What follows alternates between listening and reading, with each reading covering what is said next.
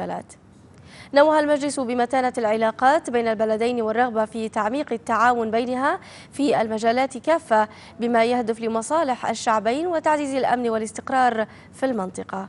كما رحب مجلس الوزراء بالبيان الختامي لوزراء خارجية الدول الإسلامية بجدة مشددا على دعم المملكة لجميع الجهود المبذولة لإنهاء الأزمة اليمنية ورفضها الشديد لأي تدخل خارجي في شؤونه دون طلب من حكومته الشرعية. عبر مجلس الوزراء عن أسف المملكة لانتهاء مشاورات جنيف بشأن اليمن دون التوصل إلى اتفاق مبديا تقديرها لجهود الأمم المتحدة في سبيل تنفيذ القرار الدولي رقم 2216 وللتعاون الإيجابي من الحكومة الشرعية مع تلك الجهود.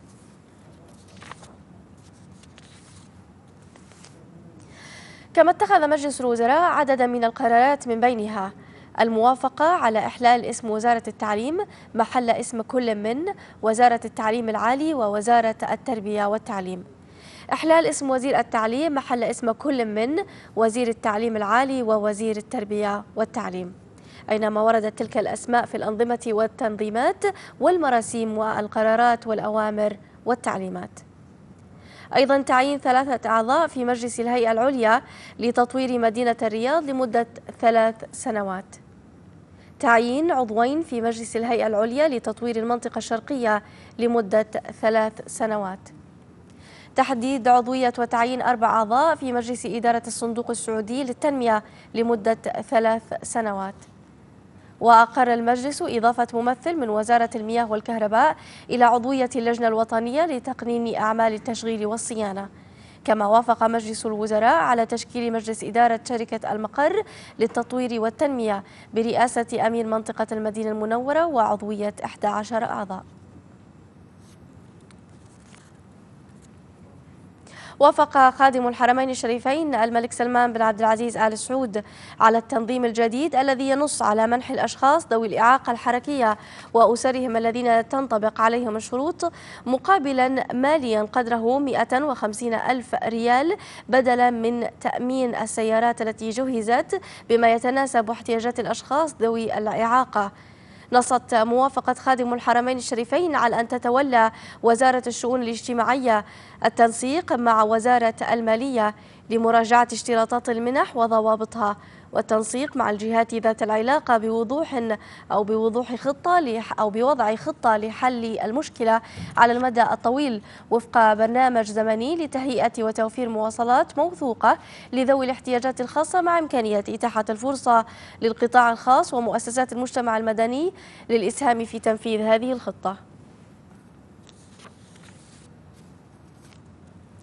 وستتولى وزارة الشؤون الاجتماعية والتنسيق مع وزارة المالية التفاهم على طريقة تحديد الإجراءات المناسبة المناسبة لتنفيذ عملية الصرف الصرف المالي للمستفيدين من هذه الموافقة حيث تبقى من أو تبقى من المسجلين في المرحلة الأولى لعملية 500 مستفيد وسيتم الصرف لمن سجلوا منذ بداية البرنامج حتى نهاية 1435 هجريا قبل نهاية العام الحالي.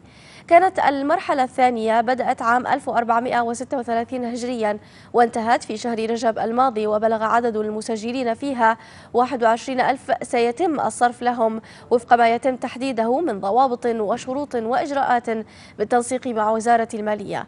شددت وزارة الشؤون الاجتماعية أن قوائم بيانات المستحقين لدى الوزارة تهدف إلى راحة الذين ستصلهم الخدمة بكل عناية وهم في منازلهم.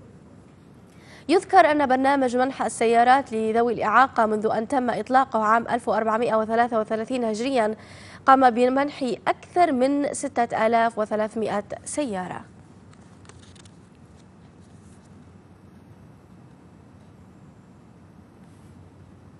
ثمن وكيل وزارة الشؤون الاجتماعية للرعاية الاجتماعية والأسرة الدكتور عبد الله المعيقل تلك الموافقة التي جاءت استجابة لما رفعته وزارة الشؤون الاجتماعية دعما وتسهيلا لذوي الإعاقة. البداية في حقيقة الأمر أرفع أسماء آيات الشكر والامتنان لخادم الحرمين الشريفين حفظه الله ولي مقام ولي العهد وسمو ولي ولي العهد أيضا على هذه اللفة الكريمة لحل هذه المشكلة التي يعني تعاني منها الوزارة في الفترة السابقة. إحنا في الوزارة لدينا طبعا مرحلتين من مراحل التسجيل، المرحلة الأولى بدأت منذ عام 1433 إلى نهاية عام 1435 اللي هو العام الماضي. سجل فيها تقريبا حوالي 12000 شخص طلب آه، للسيارات. نفذ منها ما يقارب 6300 سيارة آه، منها تقريبا 1800 سيارة في الأربع أشهر الأخيرة وتبقى حوالي 5700 مستفيد بانتظار آه، السيارات للاستفادة منها. المرحلة الثانية بدأت عام 1436 من بداية السنة فتح باب التسجيل حتى تقريبا منتصف شهر رجب. وسجل فيه آه، تقريبا ما يقارب 11000 أو 10800 أو قريب من هذا العدد آه، مستفيد آه، طلب الاستفادة بجديد السيارات. نحن طبعا الآن نستجيب أو نمنح للمرحلة الأولى، المرحله اللي بدأت من عام 33 حتى عام نهاية عام 35 كما قلت تبقى منهم حوالي 5700 مستفيد على قائمة الانتظار وهؤلاء سيتم معالجة أمورهم إن شاء الله وفق الأمر السامي الكريم بمنحهم آه، بدل نقدي مباشر بدلا من السيارات للاستفادة آه، منه حسب آه، رغباتهم وحسب متطلباتهم ونوعية إعاقتهم وغير ذلك أمور وتسهيل للإجراء وتسهيل للعمل. فهذا إن شاء الله سيتم العمل عليه خلال الثلاث شهور القادمة. بنهاية هذا العام نكون انهينا المرحلة الأولى وأقفلنا باب المرحلة الأولى التي امتدت حوالي ثلاث أو أربع سنوات حتى عام 35 عقد مجلس الشؤون السياسية والأمنية اجتماعا برئاسة صاحب السمو الملكي الأمير محمد بن نايف بن عبد العزيز. ولي العهد نائب رئيس مجلس الوزراء وزير الداخلية رئيس مجلس الشؤون السياسية والأمنية. استمع المجلس خلال الاجتماع إلى إيجاز سياسي وأمني حول عدد من تطورات الأوضاع الإقليمية والدولية. وبحث المجلس عددا من الموضوعات السياسية والأمنية واتخذ بشأنها التوصيات اللازمة. عقد مجلس الشؤون الاقتصادية والتنمية اجتماعا برئاسة صاحب السمو الملكي الأمير محمد بن سلمان بن عبد العزيز ولي ولي العهد النائب الثاني لرئيس مجلس الوزراء وزير الدفاع رئيس مجلس الشؤون الاقتصادية والتنمية. اطلع المجلس خلال الاجتماع على عدد من الموضوعات الاقتصادية والتنموية ومنها مدينة جازان الاقتصادية ومدينة وعد الشمال وكذلك ما يتصل بمشروعات النقل الكبرى في بعض المدن الرئيسية في المملكة. اتخذ المجلس حيالها عددا من التوصيات اللازمة.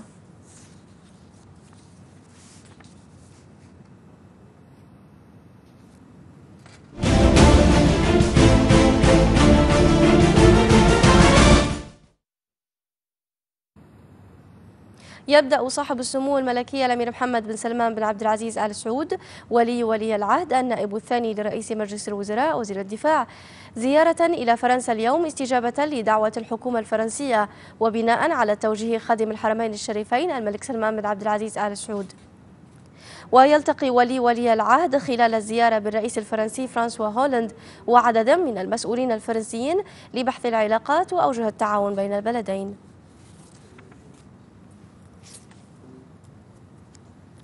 وتكتسب العلاقات السعودية الفرنسية أهمية خاصة في ظل تسارع التغيرات الدولية والإقليمية التي تتطلب تبادل الآراء وتنسيق المواقف بين المملكة والدول الصديقة التي تتبوأ فيها فرنسا موقعا متميزا. التقرير التالي يسلط الضوء على تطور العلاقات بين الرياض وباريس. نتابع. سجل حافل بالزيارات التاريخية المتبادلة بين زعماء البلدين. العام 1967 كان شاهدا على لقاء تاريخي هو الأول من نوعه.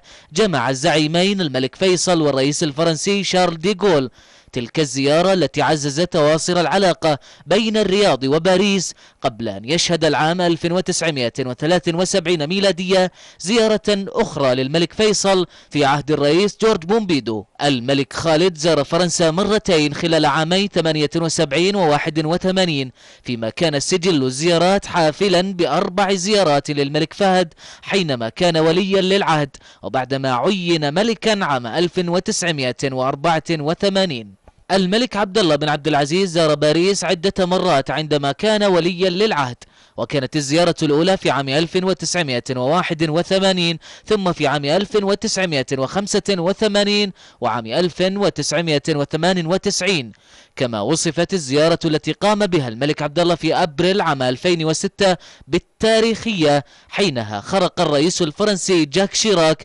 قواعد البروتوكولات في مراسيم الاستقبال والتوديع. الأمير سلطان بن عبد العزيز زار فرنسا عدة مرات منذ عام 1983 كما اجتمع مع الرئيس الفرنسي فرانسوا ميتران عام 1986 وتكررت زيارات الأمير سلطان لباريس عام 90 و97 و99 فرنسيا زار جاك شيراك الرياض أكثر من مرة. كانت في عام 96 و2001 عام 2005 قام الرئيس الفرنسي جاك شيراك على رأس وفد كبير بزيارة إلى المملكة لتقديم التعازي في وفاة خادم الحرمين الشريفين الملك فهد بن عبد العزيز رحمه الله.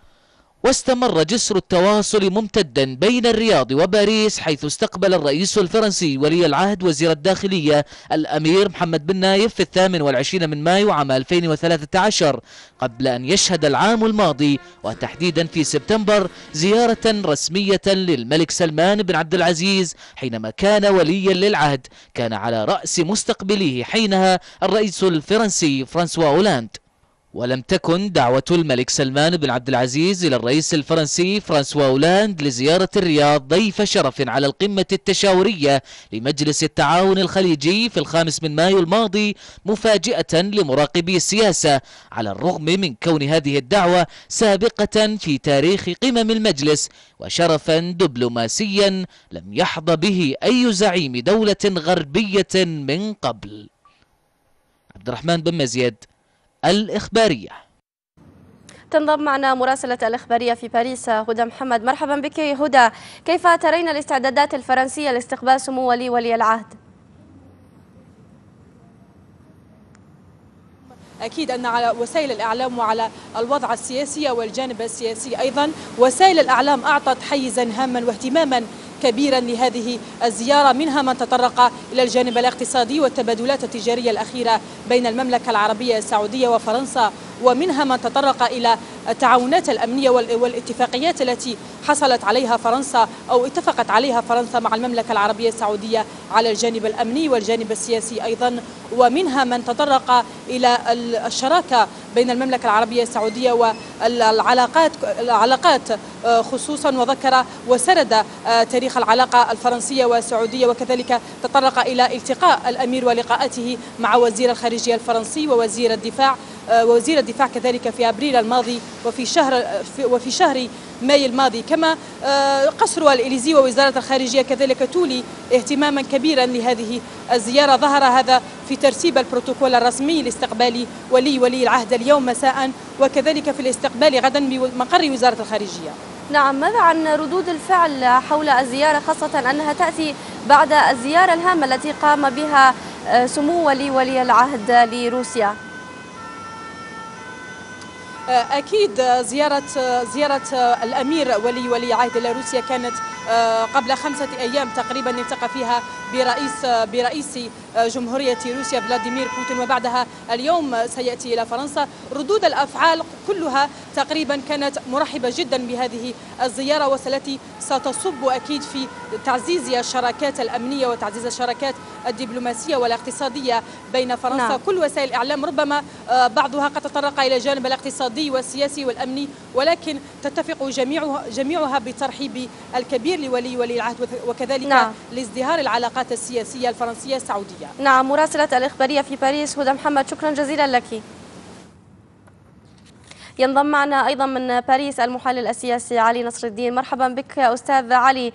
أستاذ كيف ترى زيارة ولي ولي العهد لفرنسا في هذا التوقيت خاصة وهي تأتي بعد زيارة سمو ولي ولي العهد لروسيا؟ أه، أعتقد أن هذه الزيارة هي لتكملة وتوثيق ما حدث عند زيارة الرئيس فرانسوا هولاند إلى المملكة والحفاوة الكبيرة التي لقيها هناك.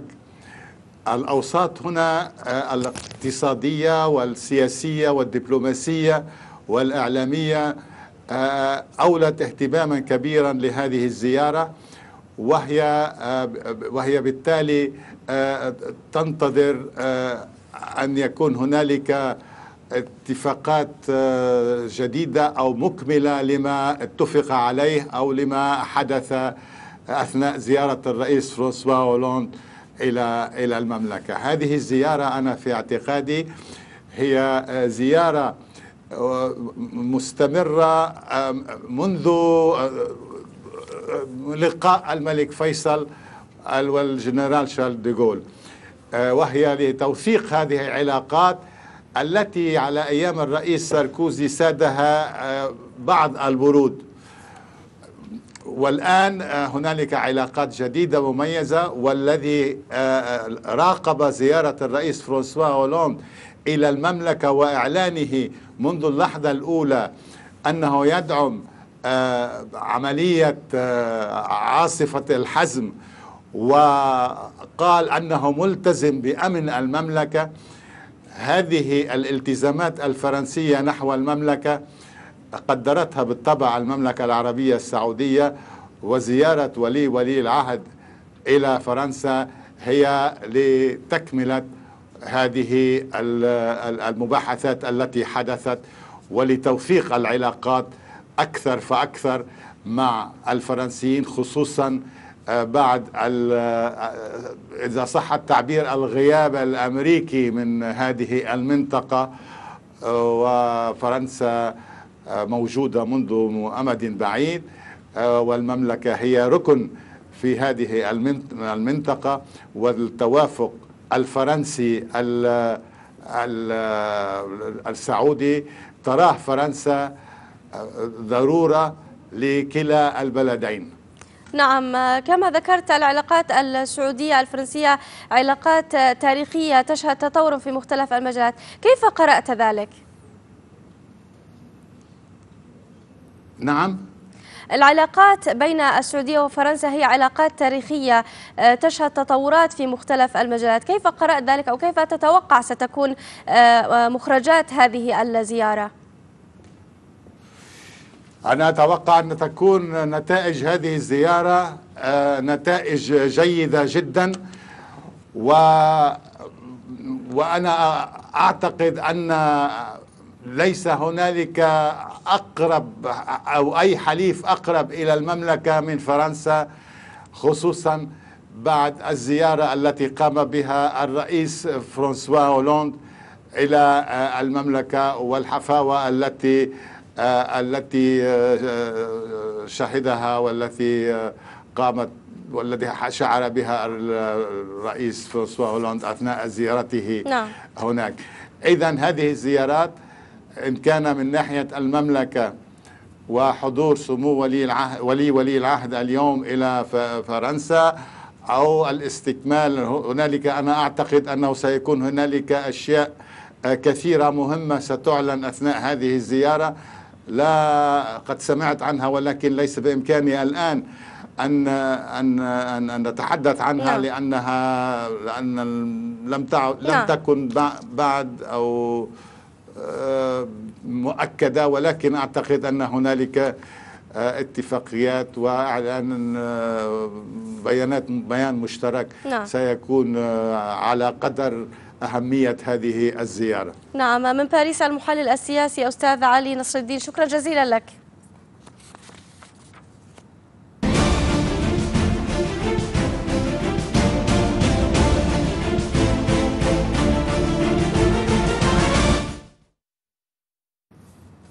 في اليمن تتواصل المعارك